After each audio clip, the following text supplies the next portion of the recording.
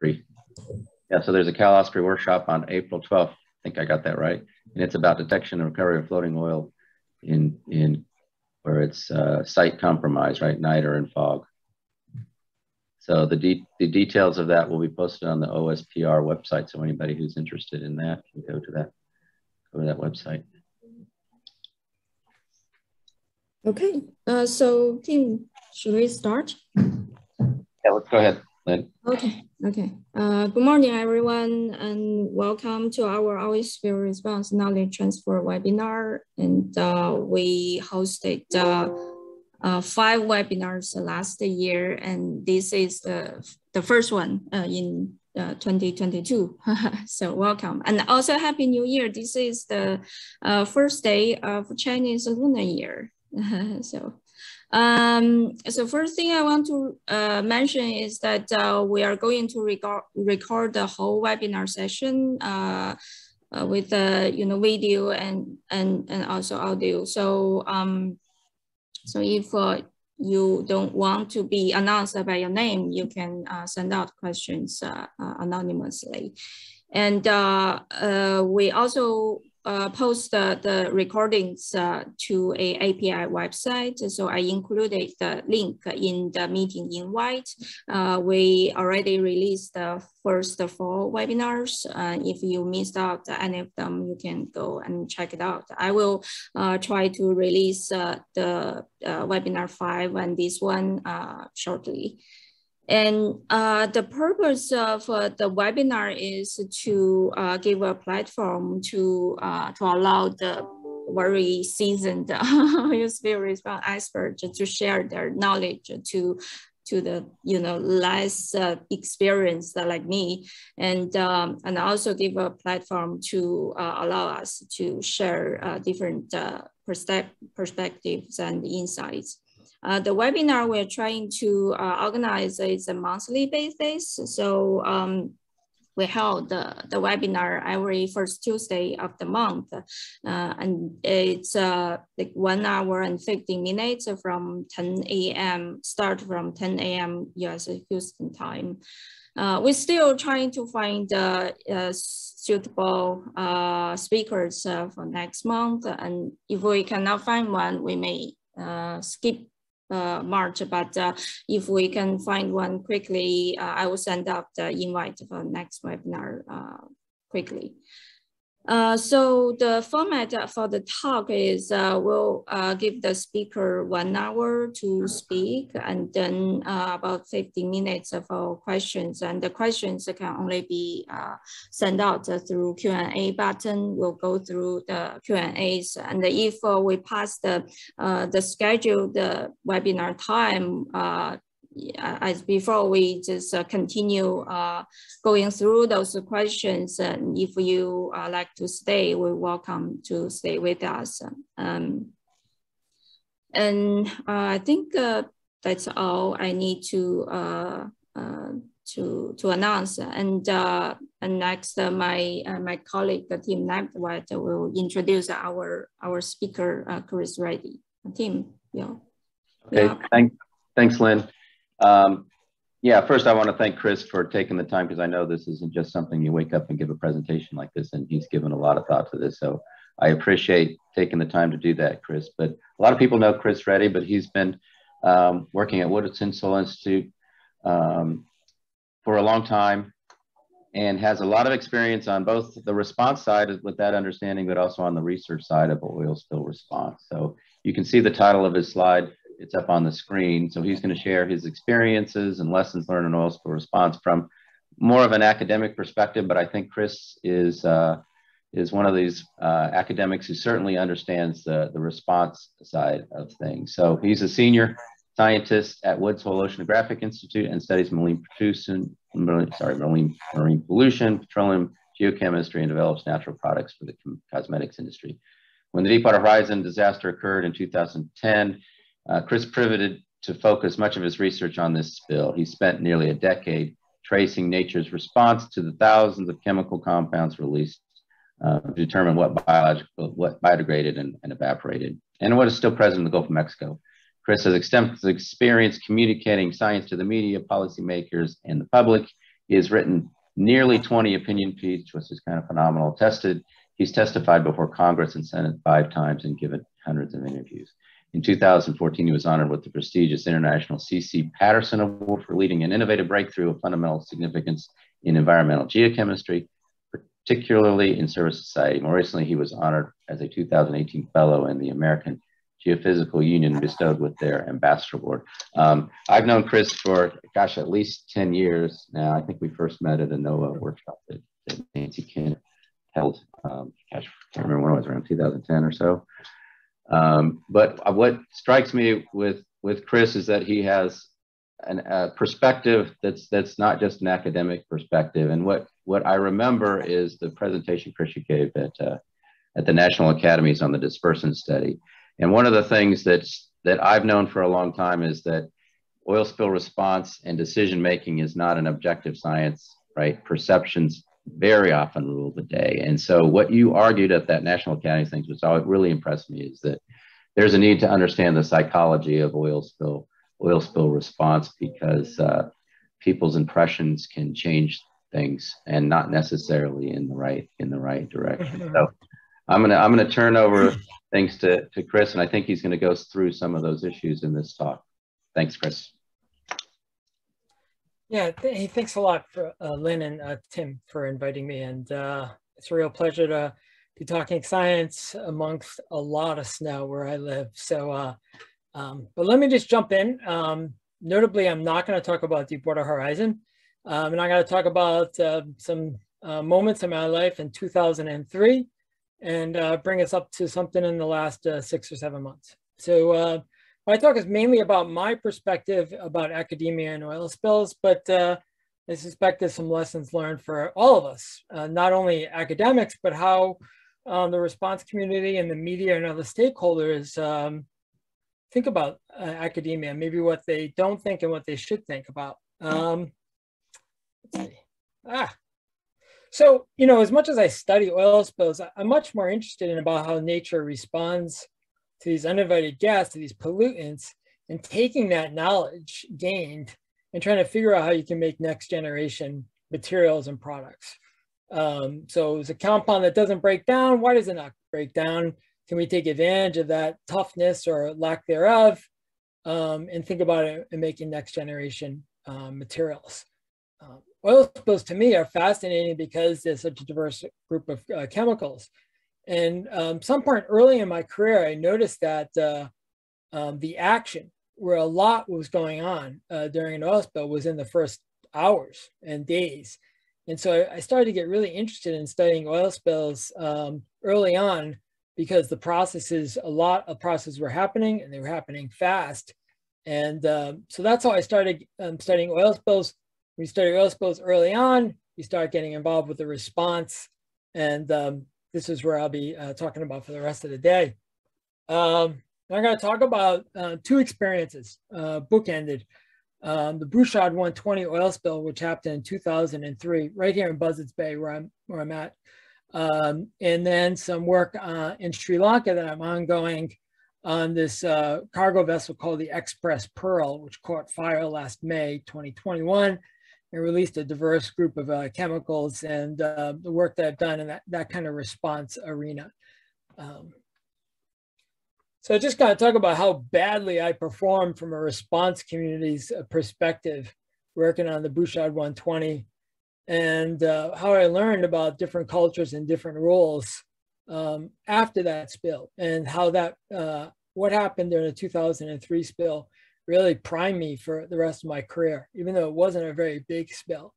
And then I'm going to take those lessons that I learned and and and think about thought about them time I was helping out uh, in Sri Lanka, other side of the world. So 2000 first day of class and uh, the X-Press Pearl, which happened still ongoing per se, uh, is kind of my senior project. Oh no, uh, so um, my internet says it's being a little hinky. That's why I got scared. So yeah, I mean, if you leave right now, if you could just hang in there, one thing I learned is first impressions can be wrong.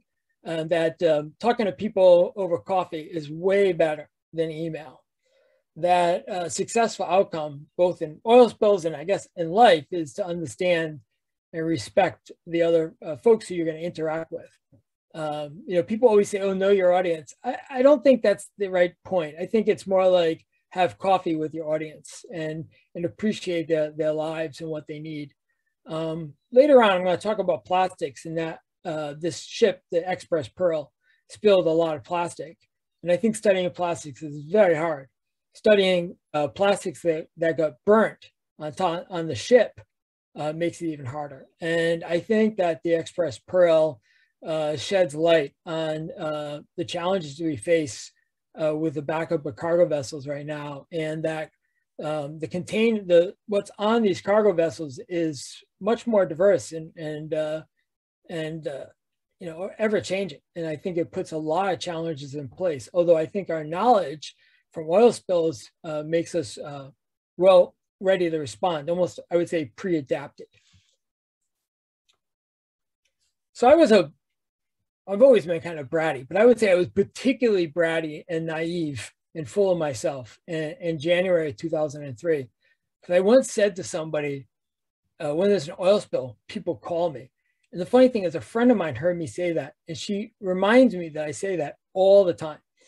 And um, it was said very obnoxious and um, kind of cocky. And you know, I, I had the right to say that because I've studied I studied two oil spills. So I certainly was an expert at that time. my PhD, part of my PhD, I studied the North Cape oil spill uh, off along the coast of Rhode Island. That was a, a, a mixture of diesel fuel and home heating fuel oil. Um, and I worked on that and, you know, made some insights and uh, got, got myself on the front page of the newspaper and uh, certainly it ballooned my uh, ego, uh, although I, I think it was good science. And then once I came to, I did my PhD at the University of Rhode Island. And then when I came to uh, work on my postdoc at, at, Woods Hole Oceanographic, um, John Farrington uh, had said, well, why don't you go and check out the whether or not there's any oil remaining um, from the 1969 uh, West Falmouth spill. So, or sometimes it's called the, the, the barge was the Florida. Um, he, you know, the last time they had been out there was about 10 years ago, after um, 10 years earlier. Said, you should go check out any oil still remaining. So um, John has always had great advice and I went out there and um, started about a decade of work going back and revisiting this oil spill. It's you know, it's a living laboratory. And the first paper that I published on that uh, went back, we looked at some salt marsh cores. You can see I published this paper in 2002, about the fall of 2002. We nicely showed that in the salt marshes that around uh, you know 15 centimeters below the surface. There was still oil. Um, it was you know, heavily degraded diesel fuel, um, and then below it wasn't. And uh, and then after that, I kind of riffed off and thought about new technologies that you could use to study this remnant oil. Uh, and I got a lot of press. Uh, a lot of people were fascinating, and of course, they ran with the idea that oil lasts forever. Despite my, I will say, my hard-earned efforts to remind people that it wasn't a lot of oil there and that it was a, a living laboratory, but you know, you can't control the press sometimes, and they made it pretty dire sounding. And uh, I don't think that made a lot of people happy with me, despite my best efforts not to. Um, so five, six months later, um, after the West Falmouth spill came out, which I said that oil can last for 40 years in distinct areas, there's another oil spill, the Bouchard 120. In this case, it was carrying uh, number six or, or bunker fuel oil. It was uh, going up uh, along Buzzards Bay and it was going to drop off oil at a, at a power plant, um, maybe like 20 miles away from here, from there. And um, it was a Sunday night in April and it, and it released uh, you know, some pretty sticky uh, oil. And um, I was out there pretty quickly with my buddy Bob Nelson, and we we got a boat ride. Uh, I would say that we were. I heard about it early Monday morning. I would say that we were collecting samples Monday morning, maybe by 11 a.m. So um, you know, maybe 18 hours after oil got released, we were collecting field samples. Uh, that was on a Monday. We were collecting the samples. We were going back to lab, analyzing them, and uh, that's what we're doing every day. Um, I know I did some press interviews uh, and was communicating with um, the local NGO, um, non-governmental organization, the Coalition for Buzzards Bay. Uh, so maybe on the um, Thursday, so four or five days later, I was invited uh, to give a talk, um, kind of a big town hall meeting in New Bedford, uh, which is on the other side of Buzzards Bay, to talk about the oil spill. It was a big deal locally. Um, and I finally got that phone call. That phone call that's, I said, you know, uh, when I was so boasting about my greatness, uh, I got the phone call. And it was the Friday before, uh, the day before this uh, seminar I was supposed to give. And it was from a, a very talented, and I, I, had tremendous respect for, um, kind of oil spill scientist. We'll leave it at that. And um, this person reminded me that the Bouchard 120, this ongoing event, was not another West Falmouth spill. This person wanted me to be very clear that when I spoke tomorrow, that if I brought up the West Falmouth spill, that I needed to be very careful not to say the Bouchard 20 was another spill. Um, I was pretty, I was not happy that I was getting a phone call from somebody in the oil spill community uh, that was trying to censor me the day before a meeting. Uh, although now I totally appreciate uh, that effort and, I and I'm very good friends with that person. So uh, I'm okay with it, but I can tell you that day before, somebody telling me what I can and cannot speak about uh, drove me nuts. I was so mad. Um, anyways, next day I, I show up at this, um, the New Bedford Whaling Museum. It was a really pretty place and it was packed.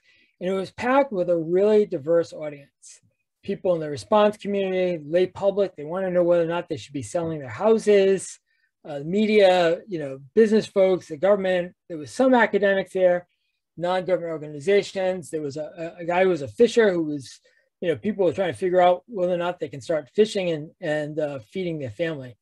Uh, what I've learned now is that giving talks to diverse audiences as a scientist is about as hard as it gets. You know, it's very tricky uh, because each one of these folks uh, has a different interest and, and wants and desire. And that's a ongoing theme in this talk is that the, the more diverse your audience as a scientist or any person, the trickier it gets. Um, because everybody has a different interest and a, a different uh, uh, means of communicating and what they define as success. So I don't know whether or not um, there was a speaker either before or after me. But I will know, I will say that I came in a pressed blue suit. I knew I had shaved.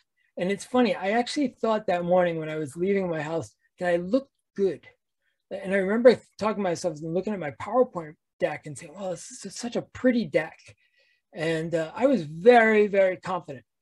Um, and either you speaker right before me or right after me, uh, who I immediately coined uh, rumpled jeans. And it was this guy who came up and he, you know, it looked like he just rolled out of bed. Um, and he gave the worst talk. Uh, it literally was still with overhead slides. And the over, overhead slides looked like they were made before I was born. Um, he was not happy to be there. He was kind of reluctantly giving this presentation. I, I almost, I thought he was annoyed. Uh, and at one point he kind of held out this small little kind of um, field guide that um, that NOAA must have used for oil spills. And he kind of held it there and he said, well, this is what we use. And he didn't say anything about the Bouchard 120. And, you know, as an audience member, and I think a lot of folks in the audience, they really wanted to hear about the spill, whereas this person really talked about the process. Um, I, I was totally unimpressed. And, uh, it's kind of like, oh my gosh, this guy doesn't even look good. His slide looks terrible. Uh, it doesn't even want to be there. And uh, on my side, I gave the most prettiest talk ever and was talking about this new technology called comprehensive two-dimensional gas chromatography. And this is a chromatogram of the oil, one of the first samples we collected. And I showed this diverse audience, these unbelievable, you know, chromatograms. And I was really driving home to the fact that the separation was unbelievable. Like, you know, we were separating compounds that always would have co-eluted. I mean, honestly, I was thinking like that. you know, that my chromatography was spectacular. I was getting tremendous resolution. Um, it was, and um, I remember either thinking or kind of, you know, there isn't a videotape of that talk, uh, but I can tell you what my mindset was. Is that I told that audience that I thought that with the technology that we had and the, the lessons that we learned scientifically, how to approach oil spills from the West Falmouth spill. So I thought that we were gonna, we were on the precipice of trying to get the most, the most advanced uh, weathering profile. I told the audience that, or uh, that I was well positioned to disentangle uh, losses of evaporation versus water washing. You know, that often is difficult to uh, apportion because same compounds can be acted upon by both processes. And then I was like, and we can even do something cooler. We can actually show that if the microbes are eating the oil, you know, we can see that carbon that they're eating in their biomass. And uh, which is, you know, super exciting. I, I gave this presentation and uh, I thought it went great. And, you know, what I predicted and what I thought I, I was going to do, I actually did. Uh, that first part number one, we published a paper in 2006. So three years later, start talking about weathering profiles. Number two, talking about disentangling evaporation and water washing. Uh, first paper came out in three years later. Uh, you know, one, uh, one a big paper, got the cover of Analytical Chemistry. Uh, we came back with uh, um, two papers written by my um, postdoc at the time, Sam Arey which are toward spectacular papers, um, published in 2007, back-to-back papers. Then, um, then we, we were able to show that the carbon, that some of the microbes were actually eating the carbon, and we could show that it was happening. We were tracing the carbon that was in there with a natural tracer, not like a radioactive tracer. well, naturally produced. And uh, we published the first paper there in 2006. So what I said I was going to do in May 2003, I delivered three to four years later. And I remember leaving and driving home and thinking that that was the greatest presentation I've ever given. Um, 18 years later, it was an F. Uh, total bomb. Just worst talk ever. Uh, I failed you know, I'm pretty sure that I left that audience hungry. Um, you know, I gave them gourmet food. Um, I think they just wanted uh, comfort food.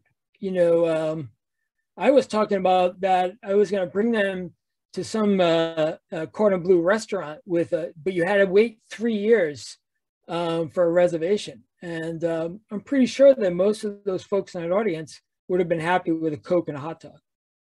It's not to say they didn't have a, a, a refined palate, but that's what they needed at that time. You know, they didn't want to wait. They didn't understand that at that time. Um, I didn't ask what anybody wanted me to talk about. Um, I just gave a talk about what I thought was interesting, not necessarily what other folks would be thinking about. Um, nobody told me what to talk about, although I was told not to talk about. Um,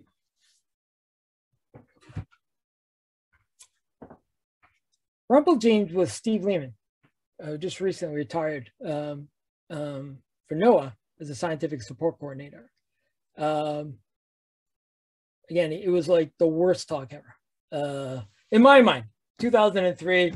Uh, I think now, you know, uh, um, you know, basically he didn't want to be there in part because he hadn't slept. You know, he had just left the Unified Command. Um, you know, he had bigger issues to, to do than um, going to a town hall meeting. Um, maybe like, uh, so about a week later, uh, and I was talking to press, I was still doing work there. Um, Steve started to send emails back and forth with me, and one of them started out with, You're getting a lot of FaceTime on the news. If you read the rest of these emails, it was clear that he wasn't happy with me. Um, he was uh, um, having demands of me. He wanted me to share my data. He had heard that I was talking to somebody who did cleanup. He was reminding me all the rules. Uh, I will tell you that the emails were not very friendly. They weren't very inviting. Of course, they were coming via email. Uh, I walked away in 2003. But the thing was, too, I wasn't really worried. Uh, Steve Lehmann was not going to make a decision with my tenure file. Uh, he didn't have any weight. He wasn't going to review any of my papers. And it wasn't, it was clear that he wasn't going to provide any funding for me. So tenure papers and funding, you know, if you don't touch upon that, I wasn't worried. Uh, I was annoyed because my ego was a little upset and I was frustrated that this guy didn't understand me. Uh, but that was it. But um, we left um, the Wuxi 120 and things go on. And I ended up working a little bit on the Cosco Busan early on. And then one of my graduate students worked on the Cosco Busan oil spill, which also was a, a bunker fuel uh, that spilled in San Francisco Bay. Um, I wrote a little piece about this and also annoyed Steve then. So I had followed up annoying Steve from 2003 into 2007. And along the way, from this period from like 2003, you know, up to about 2009, I know that I had said in front of my really close friend, uh, who's a fantastic chemist, who also was uh, was Rick Gaines uh, at the Coast Guard, who was at that time teaching at the Coast Guard Academy, but he had spent time in uh, the response committee, oil spill response. A tremendous chemist. And twice, somehow or another, Lehmann's name came up. And the second time I said something like, ugh, guy gives the worst talk, was you know, nasty to me. Uh, Rick stopped the conversation and yelled at me. And he's a real gentleman. And he reminded me that, you know, that um, if you have if you owned your own island and you had an oil spill, you'd be begging Steve Lehmann to come help you. Uh, and he had told me that I, I completely didn't understand Steve Lehmann and that I was completely wrong about my thoughts about him. So that was maybe, I don't know the second time he said, you know, he really spoke to me. I would say that was probably 2007, 2008 as well. And uh, by chance, I, Nancy Kinner had uh, invited me to this workshop uh, about one year before Deepwater Horizon. And it was a fantastic workshop uh, with a lot of oil spill folks there. And in fact, if you looked at the attendance log of the folks there one year before Deepwater. Uh, it was just about every player was there. And I'm not, I can't remember exactly who arranged uh, that Steve and I would meet and have a beer before dinner. And I don't, I don't, I can't remember who it was. Maybe it was Steve. Um, but either way, uh, Steve and I hung out um, for maybe an hour, and um, it was great. And you know, Steve is not a diplomat. God bless him, and I love him to death. By the way, uh, he, I think his first, you know, after his first sip of his beer, he, he reminded, he told me that I was a guerrilla geochemist.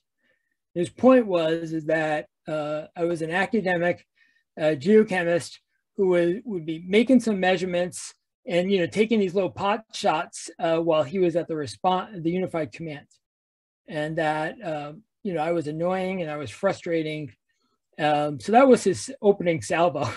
so he wasn't doing that well. Um, but then he spoke to me and he said, you know, we talked for a long time, and this is just one piece of this conversation. He said, every time you talk to the press, you make my job harder at the Unified Command. And he said, here's why. And he explained to me that if I said something to the press, whether it was accurate or not, that uh, it would most likely be amplified and then uh, he would be charged, or somebody at the Unified Command would be charged to, you know, think about or respond to that for whether or not it was from a, stakeholder, from their bosses. Um, he was clear that he wasn't censoring me. He was just explaining to me that what his job was, what he considered success, and what he needed. Again, he wasn't censoring me. He just basically responded, and, and you know, he was telling me he was annoyed with me and he was frustrated with me from 2003 because uh, what I was doing in his mind, in the, in the um, Unified Command's mind, was was acting like a guerrilla geochemist.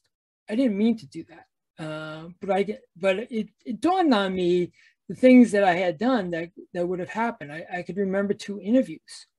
Um, it was a it was an enlightening experience. Um, that Steve explained to me. And I explained to him a little bit about my world, but it was much more of Steve telling me how his world was. And I walked away in Durham, New Hampshire, after having that beer or um, drink with him, uh, completely changed, and thinking that uh, that he was great. And you know that I've had this uh, kind of this figure uh, throughout my career, last maybe 10, 15 years, thinking about that. Um, that when you have an oil spill, it's an intersection of interests, and you have this uh, machinery that starts turning uh, as part of uh, uh, when you have to respond to an oil spill. And, and, like it or not, there's a lot of cogs. And uh, to have a smooth response, you know, these all these cogs have to be somewhat synchronized. And um, you know, Tim's conversation with me was one of the first aha moments about how different stakeholders, whether they mean it or not, how they could affect the response. And um, it was it was a lightning moment in my life. Um, and Steve Lehmann went from Rumpled Jeans to a really smart, cool guy um, who was candid, who uh, spoke to me, you know, face to face. He didn't sugarcoat it at all. Uh, uh, but he was a good guy, and he explained to me in a way that he wasn't talking down to me.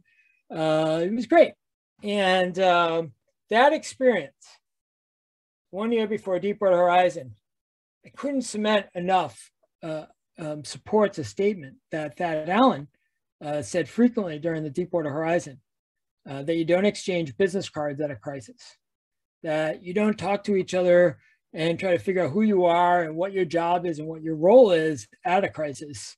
You do it beforehand. And this was a perfect case study.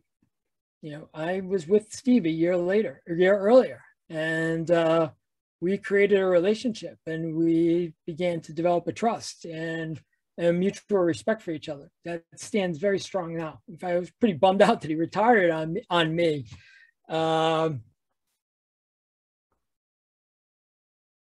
I lost the slide. And, you know, um, look, this is a classic case of, of first impressions. This is some quote. If you go and Google, you know, wrong first impressions, there's no shortage of them. Uh, this is the first one that popped up and think about this as an academic, young academic, doesn't understand how a response works. Steve Lehmann is busy, you know, battle hard and been there, done that, trying to make a bad thing from getting worse. Uh, let's think about how our first impressions played out. Um, impressions can be wrong because of past experiences, current mood, surroundings, and and and other experiences. The point is is that um, I developed a, a, a wrong first impression. It took six years to resolve, um, but it happened, and you know that's life. Um, but it's a it's an opportunity to remind you folks out there and all of us that especially I think there is a lot of tension often with academia and the response community. Now I'm not telling every academic that they have to uh, do how I do things. Um, they can do whatever they want. But the point of the matter is it's valuable to understand the stakeholder of a response responder or uh, somebody who represents the company that's the responsible spiller, whether it's the media, uh, elected folks, they all have a different interest and a goal. When you, uh, when you appreciate their different, uh, how their different cogs run, um, I think it works out better in the long run. During Deepwater Horizon, at one point I was lucky enough to be invited down uh, in September of 2010 uh, to work at the Unified Command and um, kind of being what I was called an academic liaison. And I had the real treat to sit next to Tim. I mean, not Tim. Tim, I, I wish I did, Tim Nedwed, to sit next to Steve. And Steve and I worked um, shoulder to shoulder. I was there for maybe two weeks. And uh, one day, uh, while we were prepping to give a whole series of briefings to uh, elected officials and, and, and bureaucrats and, and other folks, as we were prepping, um, Steve and I were helping um, Admiral Zukunft at that time. He was the FOSC. There was a, another scientist who was in the media making some statements about stuff, which the, that person was allowed to do. But those statements uh, found their way into every conversation that day. That uh, people would show up and they'd say, "Well, what about this? I'm hearing about this in the news," and uh, we didn't know. You know, Steve and I didn't know. Um, and at one point, Steve turned to me and he said, and that is guerrilla geochemistry. And um, it was it was a very telling moment because I could see exactly what happened. That uh, this person who's a very very good scientist, uh, um, you know, was making a statement, um, and that statement found its way into a day long series of briefings uh, with the director of the FDA, um, uh, some local officials, and other folks there. Um, it was a it was a it was a big moment that I actually got to see Steve's words in action. And when you think about academia and the response community, I often think about uh, four things and how we differ. I think we differ a lot now. We uh, what what's time to us, you know, uh, uh, how do we un- handle uncertainty? You know, like scientists need, you know, my world, you have to be pretty certain, and it takes three years, four years for these papers to come out. Uh, you know, the response community will take some good knowledge in hours if that helps them make the most well-informed decision. Uh, along the way, there, there is a certain amount of risk uh, on every side. And, uh, you know, scientists are not very risky. Uh, we try not to be. And uh, then you have to think about reward. So there is a time component, there's a certainty component, there's a risk component, and then there's a reward component. Uh, what do each different stakeholder have as a reward? Um, you know, my reward, you know, was my tenure file in 2006. So three years later, you know, Steve's reward was he had to do this job because it was his job. And, you know, you can put a lot of these aspects of response in academia and other places on, on risk reward, the time, uh, time play scales and uh, uncertainty and certainty. And, you know, by far, no means am I going to compare an oil spill to COVID. Uh, and I think science has been wrongly treated in a lot of places. And I think one of the biggest issues is that folks don't understand how science works. It's not the science, You don't understand how the science works.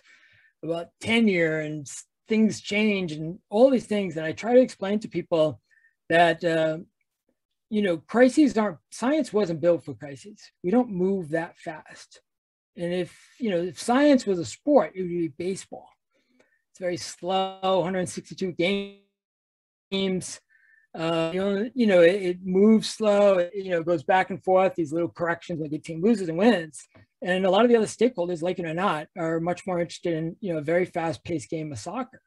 And I think science has a hard time uh, being uh, the the the way in which our culture is, and and and what is our and how we're evaluated, and what is considered success for us. So from then on, after Deepwater Horizon, and I'm not kidding you, um, when I got involved in a response as an academic, I'd often say, uh, if I do this, is Steve going to be mad at me? Not honestly, uh, you know, there were probably times when I knew that Steve might be mad, but I thought that it was in the best interest to uh, society or maybe other folks. Um, so by no means was uh, I letting Steve, me trying to make Steve happy. Like, you know, I wasn't in the business of pleasing Steve, but I was thinking about whether an action that I was going to do was going to affect the response because it wasn't a game anymore. Like I recognized that this is one thing I learned from Deepwater Horizon is walking these beaches and picking up oil. And you're hearing from people asking when they can feed their family again. That this wasn't just publishing a really cool paper or getting the cover of a journal was that what I said and what I did and the science I did um, was was going to people's bellies and their wallets. And uh, you know, walking the beaches of Deepwater Horizon was uh, another moment in my life about the the personal connection. That when you when I got out of the lab and I got out of my office, um, you can learn a lot about um, being a good scientist. And uh, this is my personal opinion. You know, scientists can do whatever they want uh, and follow the rules in which they want to. But in my case, it became very clear around 2010 that arguably after every oil spill, the most affected uh, living item, a person, li living being uh, uh, most likely to be injured uh, was um, and perhaps the, the hardest hit was people. And uh, I recognized that what I did and what I said could affect the people and that it wasn't a game anymore. So my takeaways, there's a lot of them. And I mean, there's no shortage of these conversations about um, how we can have, you know, more of a kumbaya. And I'm not discussing, I mean, I shouldn't say kumbaya like that. I'm not discounting them in any ways. I think they're great. Uh, but I can tell you that um, we should not have heart-to-heart conversations or discuss these things with email. Uh, you know, I was super lucky to have Rick Gaines uh, straighten me out. Uh, I was perfectly willing to change. And uh, I'm a firm believer that having a coffee with Steve Lehmann was much better than an email. And so um, thinking past, uh, you know, knowing your audience, it, it's more of having coffee with the audience, eating lunch with your audience, um, and hearing them in a much more candid way uh, when there isn't any pressure on. So we don't have to worry about uh, the incredible acceleration of what happens during a crisis. So if it was me, I was trying to have a better relationship uh, with the response community as an academic. Um, I'd make Exxon or API uh, buy us lunch every day. and, you know, that every culture is a different stakeholder. And, you know, we want to think about, you know, uh, when I think about different stakeholders, I think about what their timescales are, uh, how they, you know, where is certainty in their realm, what is the risk and what is the reward. So 18 years later, um, after the um, Bouchard 120 oil spill, and uh, lots of opportunities, super lucky, met a lot of folks, learned a lot of things. Um, Deepwater Horizon for me was completely, you know, changing in my life. Um, and I would say one of the benefits is just how many people I got to meet and know, and you know how many friends I got to meet. Um, you know, the, you know, my wife calls me before and after Deepwater Horizon. That's how she refers it to me. And I, I tend to think it might be better. I'm better now. uh, but Steve probably has a play in there too. So uh, I'm going to fast forward. I'm going to talk for another five or six minutes uh, oh, um, about the X-Press Pearl. Um, and this is a cargo ship. Um, and uh, kind of the science and, and, and my role and what I did uh, with thinking about whether or not Steve would be, you know, would Steve call me a guerrilla geochemist? X-Press Pearl was a cargo ship laden with lots of different chemicals, polymers and resins, nitric acid, elemental sulfur. It um, left Qatar and um, no, no, UAE on May 10th. Um, started to have a problem uh, noticed that it was leaking uh, nitric acid on the ship. Um, a couple days, I can't remember right now, um, a couple days before May 20th. Um, was trying to find a place to, to tie up and um, the Sri Lankans, uh, you know, said you can tie up off offshore. We'll try to figure out how we can help you. And that nitric acid um, leak became a fire on the ship. And um, it was a terrible time. And uh, one of the cargoes on that ship was small little pieces of plastic, nurdles. You know, these the pieces of plastic that are pre-production plastics that you know you'd use for um, raw material, just a raw material. And uh, very early on, um, these pieces of pre-production plastic, these nurdles, started to show up on the beach to the point where 75% of the Sri Lankan coastline was covered with nurdles, uh, whether they were more standard or whether or not they were burnt across a continuum of different burntness. Um, so early on, um, I got a phone call uh, from one of my closest friends, uh, Lihini Aluwihare at Scripps, and she said, uh, I have a really close friend of mine, Asha de Vos, who's in Sri Lanka. Um, could you talk to her about things that we should, you know, there's fuel oil on the ship, the underway fuel, there's other chemicals, uh, the nitric acid, the plastic. Uh, could you just give her some input? She she's a really talented scientist, uh, conservationalist, who uh, has her own uh, NGO called Oceanswell, and she was very keen to communicate solid science. And um, so I was I was hard bit to actually provide that science that could you know give knowledge, but not amplify concerns or fears. And, um, you know, one of the things that became very clear to me uh, when I was speaking to uh, not necessarily Asha, but other folks uh, and the press and, and kind of the perception about um, the X-Press Pearl, you know, in May 21 was this idea that, you know, an oil spill or another release is just, you know, it's, you know, you're just titrating a pollutant into a beaker or a round bottom flask in this case. And I was really trying to drive home the reality of this event that uh, you know you you had there were concerns of acid rain um, from all the burning of materials. Um, this was a ship that was sunk uh, during the seasonal monsoon with six foot seas, uh, releasing uh, nitric acid and uh, a cargo just loaded with many more chemicals that had not been released. You know, that alone just underscores the challenges that the response community faced with the X-Press Pearl. Of course, then you can add the pandemic. Um, there's no doubt that this was a huge challenge. And I will say the Sri Lankans, I think, did fantastic uh, responding to it.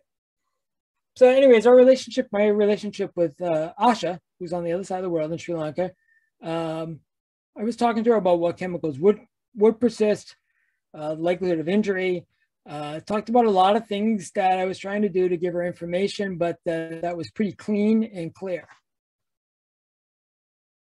Asha started showing me pictures uh, on the beach that she was collecting not too far from where she lived. And she was showing me these pieces of plastic that was that was coming from the X-Press Pearl. Some of them looked pretty pristine, and others looked like um, looked not like plastic anymore. And they were black and they were dark. And it, it came clear to me that uh, I asked her, I was like, can you send me some of these samples? And I was thinking about, uh, I was kind of thinking about from a response community um, that this wasn't a single entity, that the nurdle spill here, that, you know, looking at these images that she had sent to me, that it's entirely possible that some of the burnt nurdles would not be seen, or maybe they would transport differently. And um, so she sent me some samples. They came to my lab on June 11th. Um, I was kind of following uh, also the oil, um, following the following some really great work that uh, ITOPF was uh, putting up.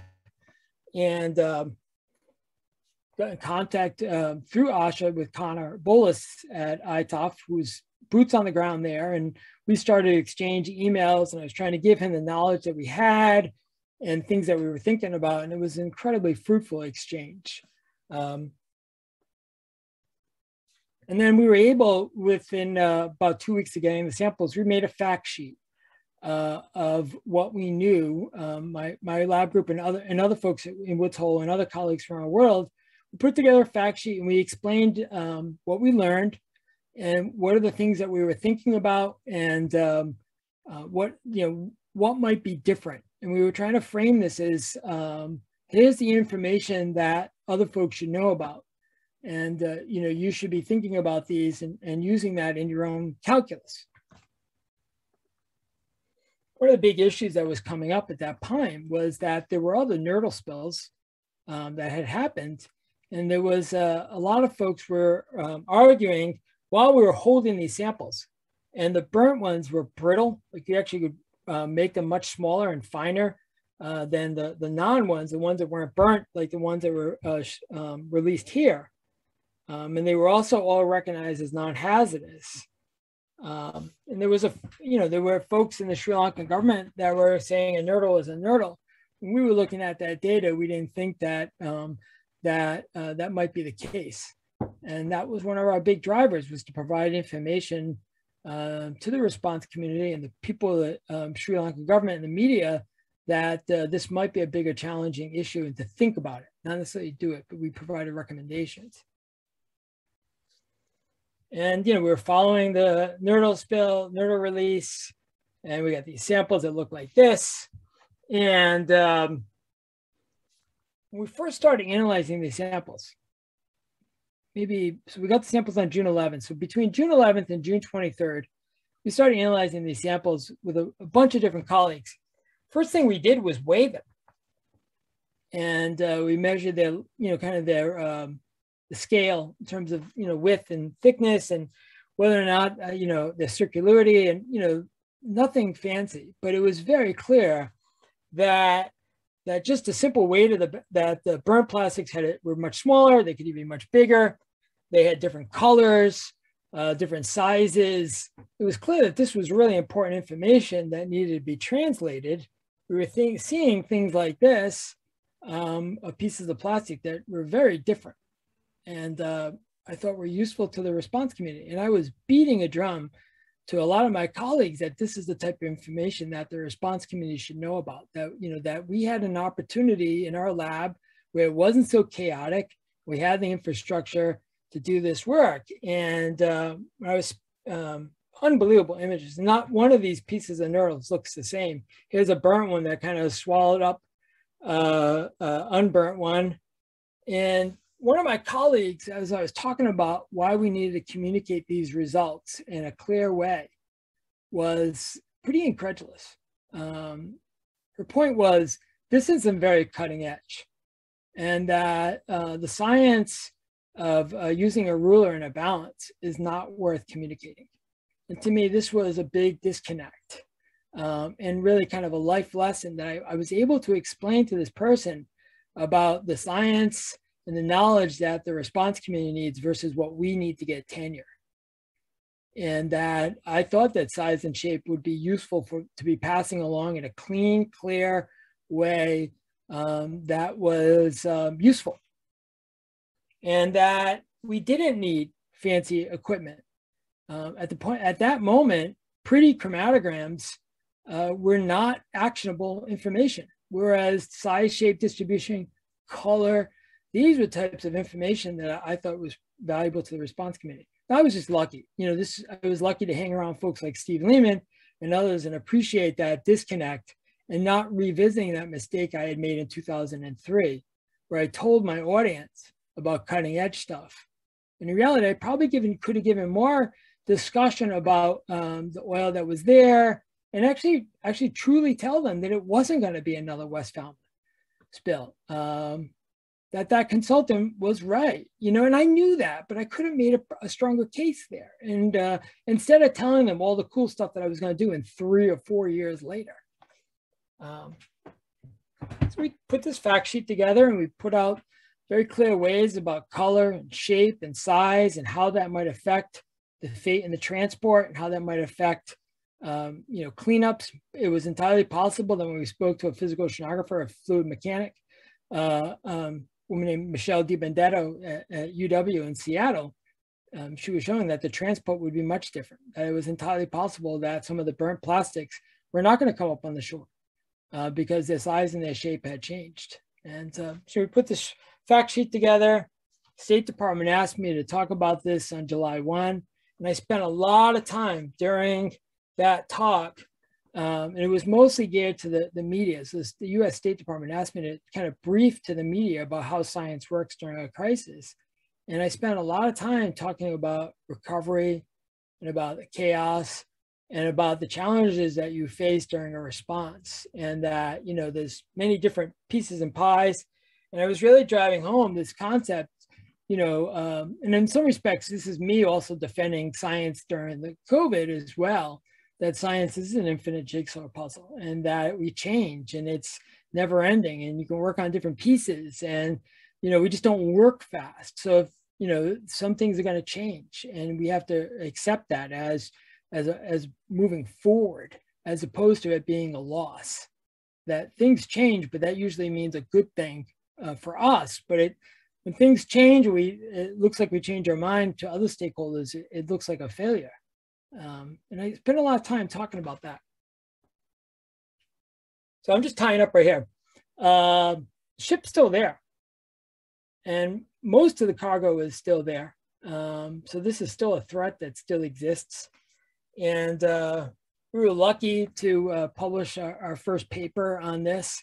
And um, I was very keen to get this paper out. And, and um, in part because I wanted to publish a paper during an ongoing response and I thought that um, providing our information uh, in a way that was peer reviewed might be useful, um, a useful tool to other players to show that the data was there and available uh, to make the most well-informed decisions and, and to, to, you know, lessen damages. put together this kind of cartoon and things that we we're thinking about.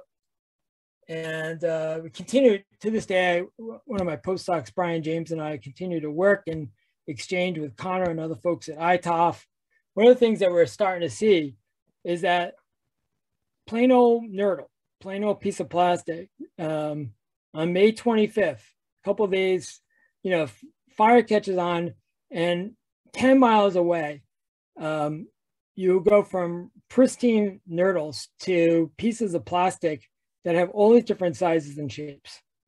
Uh, and just really underscoring um, the challenges and about how this beast, this plastic, our enemy, changed.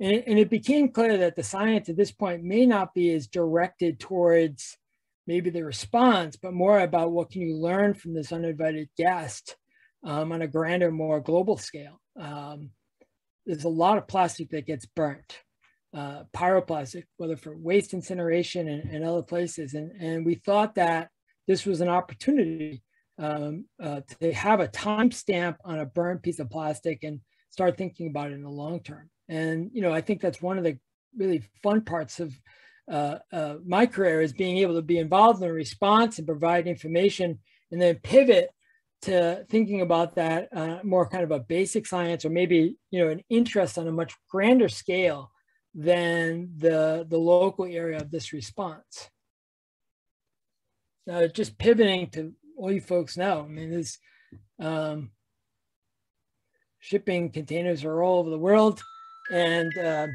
you know, if you look at the, um, you see what's on the cargo of the X-Press Pearl, um, you start to appreciate just how complex uh, these different materials are and uh, the chemicals that, that folks would be facing during a response. And um, I think it's tough. I think there's, you know, I'm hoping that there are any more and there are no accidents, but I think if they happen, they're going to be challenging because um, you're going to have to be outside the box. I think that, at least in the United States, I think we're well positioned. I think there's a lot of talented folks that can use the knowledge gained from an oil spill to respond to whether pieces of plastic or hydrogen peroxide. You know, there's kind of a, a knowledge base that uh, every chemical has a different personality, it has a different threat in the short term and the long term. So just tying up with my last slide, you know, um, thing I learned in, in 18 years is that first impressions can be wrong. You know, uh, coffee, or in this case, Steve was, you know, sitting at a bar before dinner, uh, really understanding and, and kind of respecting. You don't have to agree with other stakeholders and players, but you do, you know, you would be better off if you had an understanding and respect for them.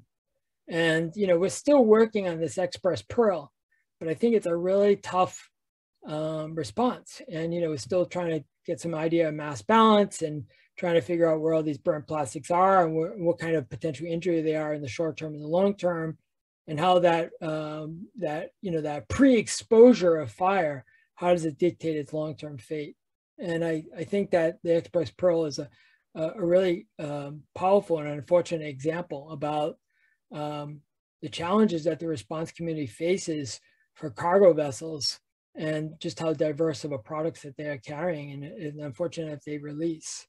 So yeah, I'm super lucky. Um, thanking a ton of people here.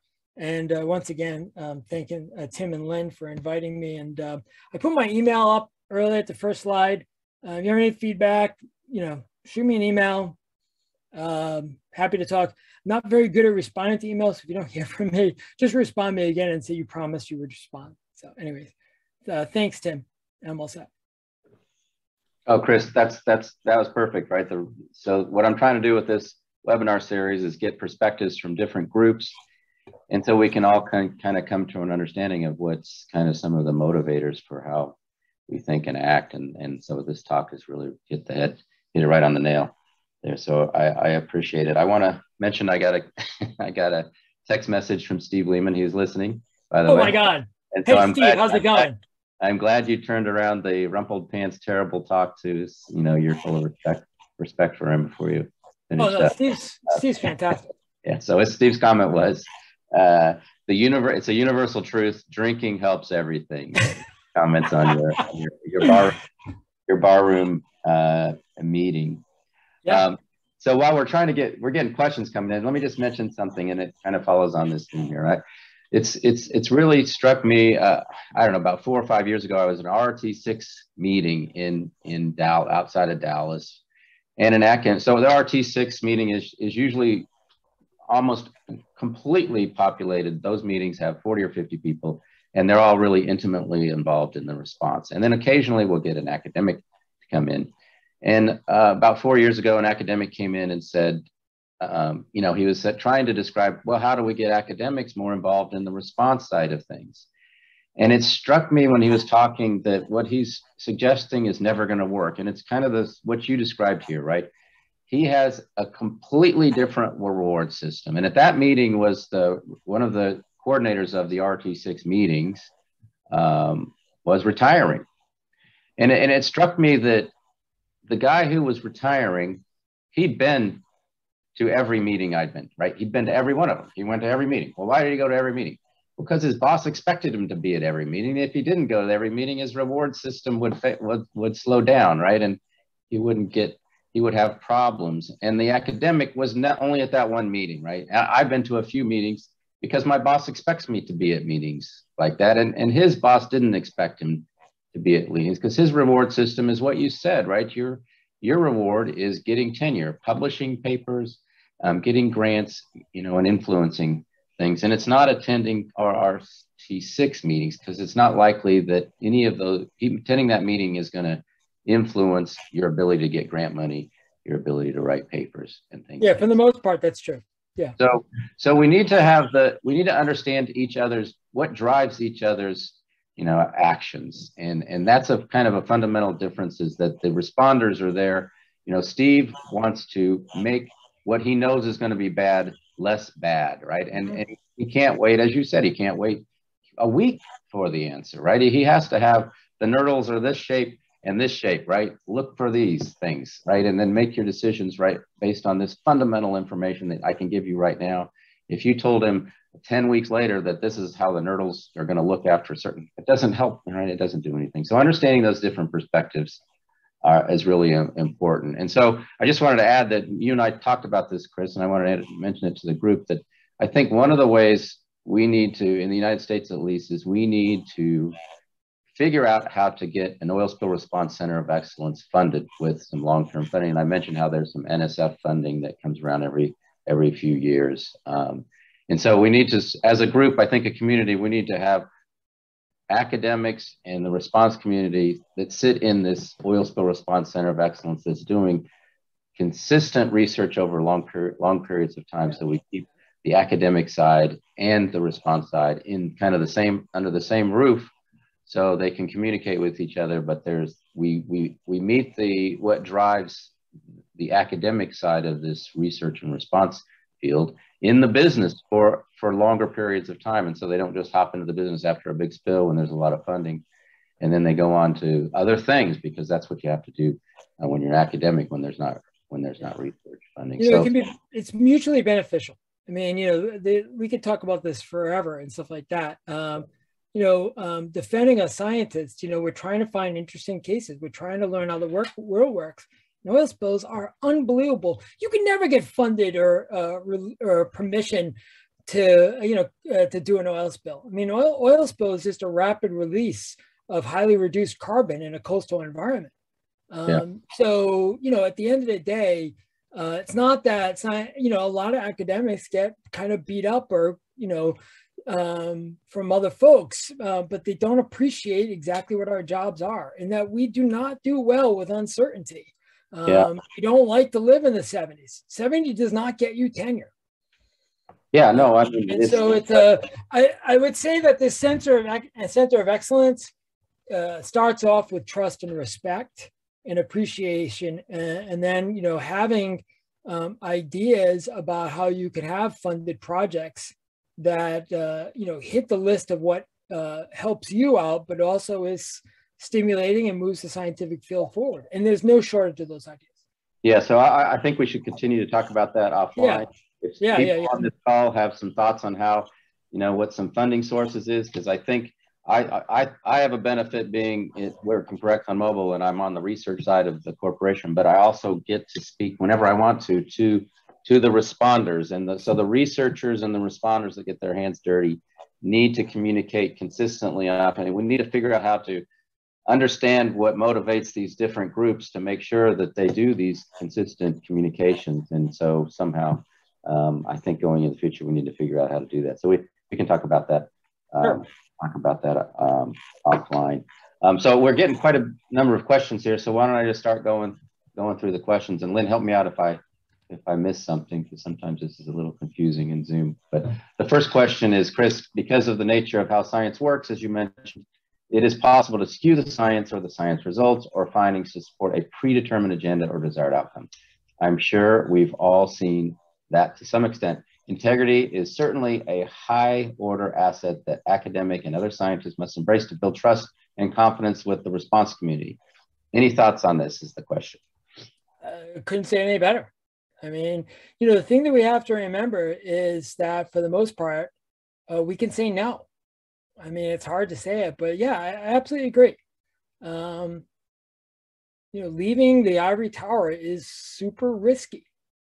Um, and it frustrates me sometimes when senior administration and academia uh, encourage us to be, you know, more involved, but um, but they don't necessarily have your back when things go a little sideways. So yeah, I mean, at the end of the day, it's a tough place. And I, I would tell people to move carefully uh, for these very reasons. We're not going to change academia that fast. Yeah. It's a risk. Um, and that's it. I totally agree with that point. Yeah, just one of the challenges I see is that uh, you know someone will publish some papers and it'll get a lot of recognition, a cover of a journal, and then a, a couple years later, there's additional research that shows that maybe those conclusions weren't on completely on target at least and there is it's just human nature it's to stick by your guns on those conclusions right especially when you've got a lot of recognition and, and your reputation can be to some extent at stake and so it's it's hard to turn um, when new science kind of not if it completely refutes your your conclusions, it's easy to turn. But when it when it partly does, it sometimes people stay by their, you know, stick their guns longer than they should, and it's quite it's quite challenging sometimes.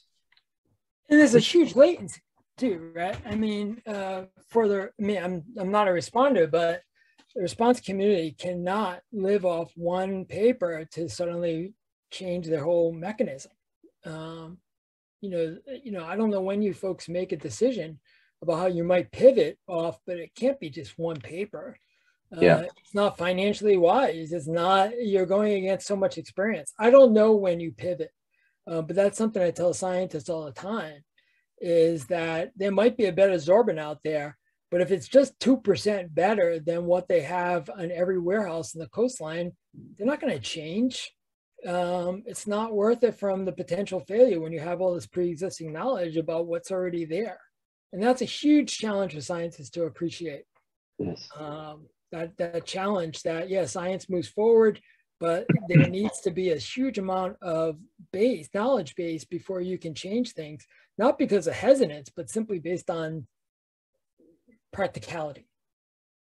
Yeah, that's that's that's exactly right. Right, we have stockpile. The industry has stockpile, huge stockpiles that cost millions and millions of dollars, and we're not they're not going to be abandoned for an incremental advance in an, in in the technology that we're using or a, or a new tech. It's got to be a step change advance to to some extent for it to really be ready to be adopted in a in any time of any any time frame that's, that's meaningful actually. So, okay, let me go to the next question. Thank so Chris, thanks for the wonderful observations, humility, and the nod to the work of the NOAA SSCs. You are one of the academics who is prepared to respond to oil spills shortly after they occur. Over the years, we have tried to find ways to keep academics and NGOs involved in preparedness for spill. Can you comment on ways acad academicians, I'm saying that wrong, can be prepared to respond, become involved in enriching spill response, science, and the NRDA process? You know, I would have, um, uh, you know, like it or not, I've seen emails where sometimes we feel, the academic community feel like we're uh, fair weathered friends. And if we don't deliver, then we're suddenly discounted. Um, you know, um, I'm not that smart, but what I would say is um, having folks like the SSCs and other folks actually being boots on the ground and finding folks who, you know, you know, exactly this, not exchanging business cards at a crisis. Um, you know, you guys have a huge load of materials and work, but, you know, to me, I think you could go a long way by visiting schools and not necessarily giving a canned lecture. And I'm not knocking you guys at all, but actually having a lecture about, you know, the anthropology, about the culture and the language and things like that. I think that is where I'd start, um, is really truly explaining, you know, what our value systems are. Um, but somebody's got to give up the time. You know, I mean, you guys are responding all the time, but at the end of the day, uh, the email assault of, of these things, it just doesn't work. You know, we move so slowly and our lives are so planned out. My first bet is is to get people in a room don't have a you know have an agenda don't try to do it at a seminar series or an international meeting two people are too distracted have these types of relationships that uh, people feel like they have a level of trust and respect. And that is the goal, not to talk about the science. I'd actually say the first goal is actually, you know, exchanging business cards. Okay. No, great. Um, listen, I'm not mentioning people's names on these questions, although I see these names and questions. Hey, tell them if they want. Yeah, tell them if they, they're cool. I'd love to say hi to whoever it is. So. well, the problem is that we have these privacy protocols and if I oh yeah yeah yeah, yeah. Right. this API thing, and I need to get a document from them. Um, so oh, I yeah, apologize for keeping yeah. this kind of incognito, but uh, I got a comment here. Nice talk, Chris. I had a very similar experience with Steve Lehmann early in my career that shifted my understanding on the importance of seeing things from perspectives other than my own. I'll tell you, my my when I first, so I'm going to say just the opposite about your first interaction with Steve and his presentation. I in 2006 I gave a talk at a at a workshop in St. John's, Newfoundland, and Steve was there. And I think I talked right after him. And I just started into the oil spill business, and I had all these kind of ideas on how we improve things, and I was going to talk about some of those things. And I remember Steve got up before me and spoke. And Steve has a much kind of stronger voice, right? He should be a he should be a radio, um, you know, a oh, disc jockey or something because he's got this kind of strong, deep, authoritative voice and he went up and gave such a really good a really good talk i thought um, that it kind of threw me off guard because i thought ah, you know i'm going to be the, you know, the, the, keynote speaker here because i'm doing all this great um, work and uh, so rumpled jeans and and maybe he got more sleep for before he gave that talk but i had kind of the completely and in fact it it threw me it threw me off guard because i'm like ah how do i compete with with somebody who could speak like that and i remember thinking that specifically okay here we go. Chris, any thoughts on academics interaction? No, go ahead. No, but I immediately come to mind that uh, the SSCs and other response communities are super slant right now. So uh, I think that uh, maybe the powers that be hire folks like Ed Levine and Steve and be the ambassadors to try to explain how the world works. So I don't know if I'm not trying to get Steve a side hustle, but I think that might be a fit. Um, yeah, that's yeah. another one of the things I think is that the the, res- the organizations that have resources for funding oil spill response research need to have a set of kind of go-to consultants that act as liaisons between the people that write proposals and start doing research and the the fundies, right? We need we need the groups that have the resources to rely on some of the people that have got their hands dirty and Steve Lehmann and Ed Levine and others mm-hmm. have been doing it for a long. They've got their hands dirty for a long time, so they're going to know. You know, they're going to know immediately if this is a good idea or not, right? And and so they need to be. They need to be. There needs to be a set of consultants that help support some of this. Uh, even propose, even requests, writing requests for proposals, right? And, and I, I think I think the expertise that those guys have could be could be utilized uh, more than it is is now for for the for the research side of things. Sure. Um, Okay, Chris, any thoughts on academic interaction with the press? It strikes me that the press is looking for a big story and tend to spin what they are told. And that can give academics attention, even if the results not are not really interpreted quite correctly. Yeah, yeah, that's a semester long class. Um, at the end of the day, um, if you don't feel comfortable having those interviews, don't do it. Um, if you're not quite sure about giving an interview, I would get my uh, press liaison officer at my university to sit with me um, or have another friend uh, sit in on a Zoom meeting. But at the end of the day, yeah, it's challenging. You know, um, even thinking about making mistakes. You know, the media can make a mistake and now it, it's completely forgotten. You know, maybe they put an, an errata in the New York Times the next day. You make a mistake in academia, that don't go away. Uh, sometimes. So I do think that this is another aspect of risk. And how do you minimize risk? Um, but you know, at the end of the day, you have to communicate to scientists that it is tricky. Um, and I think sometimes you just have to say no, uh, like it or not. Um, I think it's really hard. Uh, it's not easy. And they, you know, there is no expectation that it should be easy. you know, like, you know, you don't have, not every culture and different stakeholder has to mer- uh, mesh perfectly. You might be just willing to accept the fact that sometimes they just don't work well or that, you know, might work for others. And, you know, that's just the way it is. Yeah, I'll tell you an insight. So for anyone at ExxonMobil to give a, to give an interview to the press, which is, a, you know, something that you don't do just off cuff, off the cuff, but you have to have, take media training. Yeah. and you don't you know you, you don't really realize how your thinking changes when there's so in the media training you do some actual and you know they're all staged and everything's fake. Yeah. But when you have a microphone in front of you and they'll bring somebody out with a camera and put it in your face and even in the media training how you react to that is just striking right it, the pressure and the difference of that and that's what you knowing that you're in a in a course where at the end, nobody's going to be listening to you other than yourself. And you can, I mean, I have stories from the media training about some of the people I took it with that I tell at parties because they were so ridiculous. I tell at parties that people don't even know them, right? Because some of the ways they acted when the camera went on and the lights went on and there was a microphone in their face, even though it wasn't. So the yeah. pressure of that interaction is something that's just a new animal that you, if you haven't been exposed to it, even in something like media training, I think you might not even be able to think straightly, or you might say things that you wish you hadn't said because you just not you're not yourself until you get accustomed to it.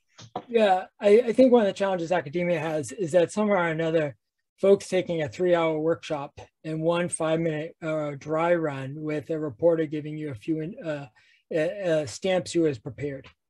Yep. And uh, you know, if you want to get good in anything in this world, I'm not sure you need 10,000 hours like Malcolm Gladwell, but a three hour workshop on how to communicate to the press is that's just an appreciation. That's not uh, a certificate of, of going for it. And I think, you know, what I try to do when I give interviews now uh, is I have my grad students and postdocs uh, on the Zoom meetings and I have them listen. Um, sometimes I might ask them a question. For the most part, I ask the re- reporter, can, can this person listen in? And then after the interview, I, I asked him to write a couple paragraphs about what their take was of the interview.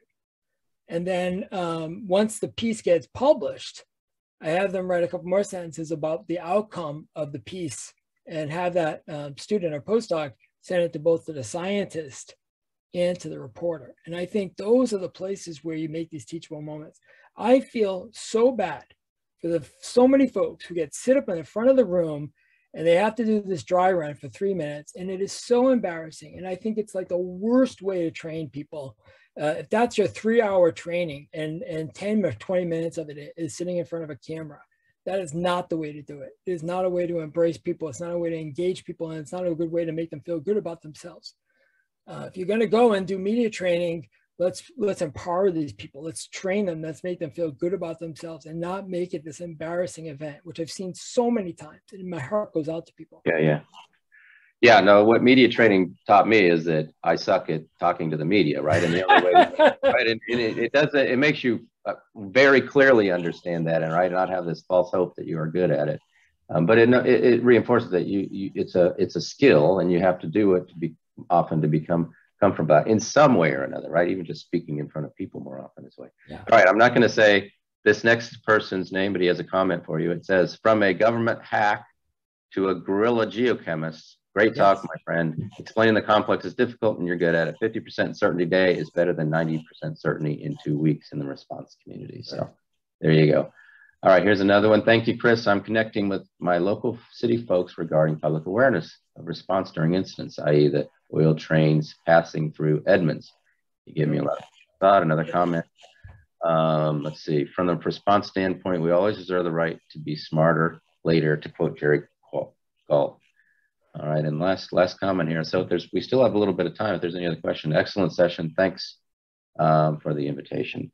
Let me hey, let me ask you. So I, I wrote this down in case our questions didn't come through, but since we have a couple more minutes, it would be great if you summarize what I mentioned at the beginning, right? The the what the message, the key message was you gave to the National Academy of Science regarding, and it's kind of group psychology and how how yeah. that how that group, the National Academy of Science.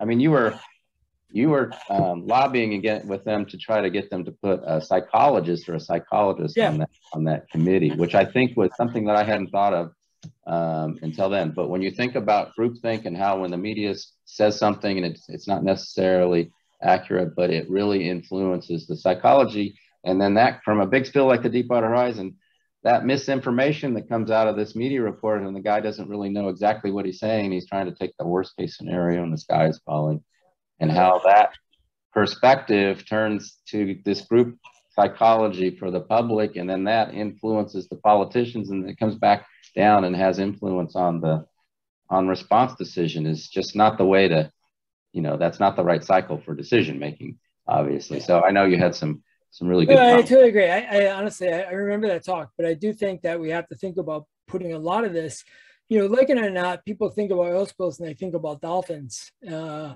i think about oil spills i think about people.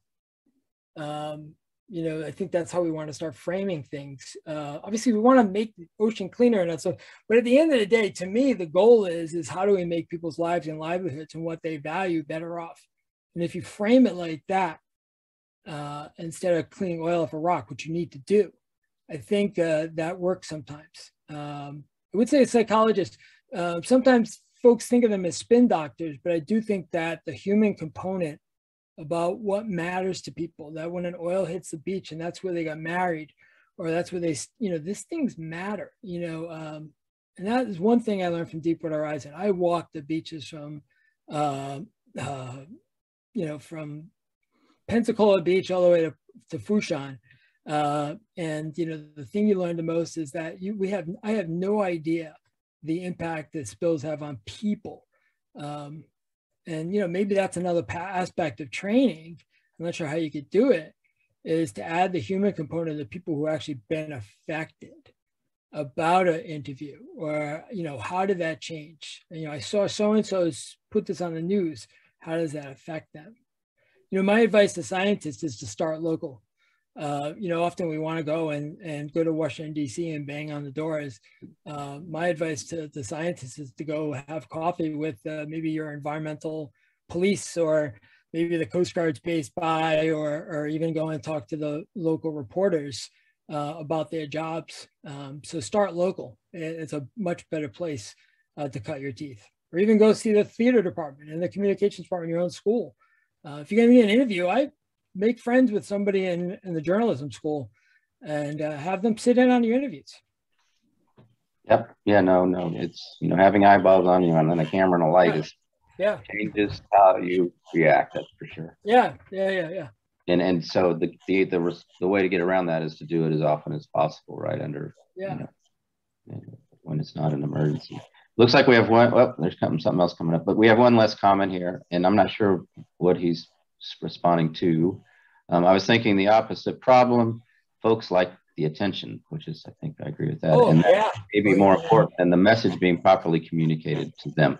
Sometimes it not even direct interviews, but papers results are misinterpreted, and I, I, I, I certainly understand that. The one paper doesn't change the whole thing. Is the the is the problem. We need to we need to be sure because one of the things I talk about a lot is how it's a challenge to take beaker and basin tests and then extrapolate those to what happens in the real world because of just a huge amount of constraints and bias that happens in a beaker compared to what happens yeah. in the ocean. But you know, a lot of this is out of our, our control, right? I mean, listen, we're going to write great papers. They're going to get peer reviewed. They're going to get published. You know, we can't control the narrative. We can do our best, but you know, uh, a lot of scientists get beat up a little because they write a paper, but they're just trying to move science forward. And it's incremental and it goes one step back and then two steps forward. And, you know, there are things, this world, we live in an imperfect world.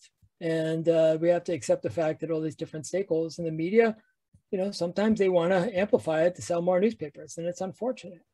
Uh, but, you know, peer reviewed papers move the ball forward and we have to keep doing that. Um, but just to remind everybody, there is no expectation that this has to be the most harmonious thing. We just have to try to be as meshed as possible um, to have as good of an outcome so that we can make the people who are impacted better off. Yeah, I, I don't think there's solutions to these problems, but understanding that these are problems, like understanding that the beaker is not the real world, right? And then when you rate, make conclusions about your beaker test, you should try to couch them in what, you know, your expectations for the real world or that yeah. You know, academics have this different set of drivers, and you're never going to get them to come to each RRT6 meeting, right? Because they're not paid to be there, and their boss doesn't expect them, to, right? Understanding those different perspectives is, you know, you may not, there may not be a solution to some of these things, but understanding them so you can think about them when you're trying to make decisions is important. You know, I, I recognize your point about environmentally relevant and that what happens in a beacon may not be the same as the coastline. Uh, but you know that gives some insight you know, is it transferable all the time? No, but I think a lot of my colleagues in the peer review are trying their best to move the ball forward. You know, perhaps maybe they want to underscore the point that maybe that is not completely uh, relevant, but I do think it shines light on trying to solve the problem. And I do think that's a big disconnect. And I think the environmental relevance and that translation gets lost, not necessarily with the scientists, but in between. It gets you know, there's a little bit of a black box that sometimes things get a little lost. Uh, but yeah, I mean, trying our best, you know, and oh, we have to somehow live together. So. Yeah, no, I'm not trying to say you shouldn't. Yeah, no, no, I understand. You got to do bigger tests. Yeah, yeah, you got to start templates. Right? But the the understanding of how the, you know, what the biases are in these bigger yeah, tests. Yeah, yeah, needs and, to be know, highlighted in some papers better than it is. Yeah, well, I mean, on the flip side, uh, you know, it, um, it's not always practical to try to do it in the real world. Who's going to take, if you have limited assets in theater, who's going to take one of your best boats and some of your more com- competent people with limited resources and take a scientist out to collect some water? And at the end of the day, we're trying our best because we don't necessarily have access. But at the same time, responders, you know, they got to solve the problem right now. So, you know, that's the disconnect. We're trying our best. And, you know, but yeah, I appreciate what you're saying. Yeah.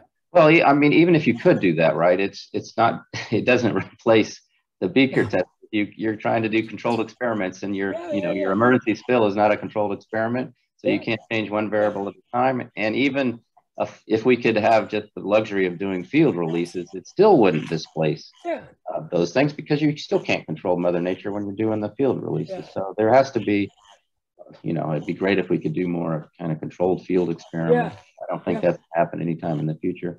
So we have the emergencies where we can try to do something, but the, the lab tests are going to be the way to do science, right? Yeah. Uh, lab and, and basin tests as the way to do science, but there there certainly needs to be caveats on before the extrapolation goes very far.